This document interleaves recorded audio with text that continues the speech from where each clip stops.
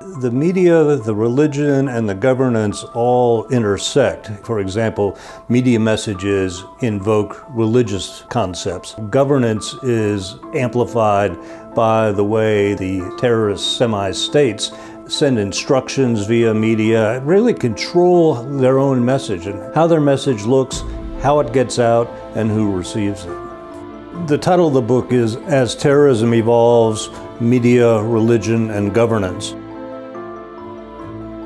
One of the things I talk about in the book is the one-on-one -on -one recruitment that they do. It takes enormous patience and enormous amounts of time, but when Islamic State finds a person who is perhaps interested, there's a courtship that goes on involving gifts, everything from copies of the Quran to bars of chocolate that get sent to that person, but the dialogue continues online.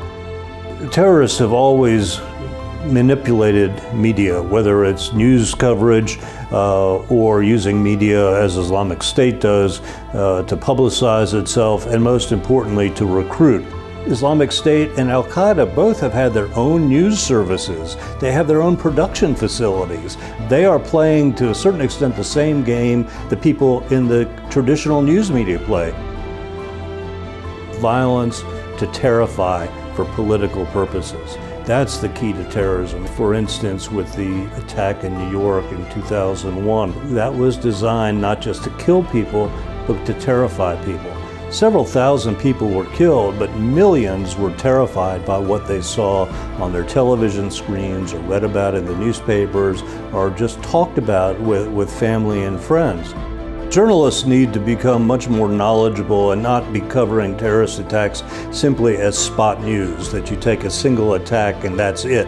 Really, the, the issue is not so much whether they're covered, but how they're covered it all starts to resonate personally. And you think, do I want to live this way? Do I want the next generation to live this way with this constant fear? We need to know more about this in terms that not only appeal to the experts, but also to the general public.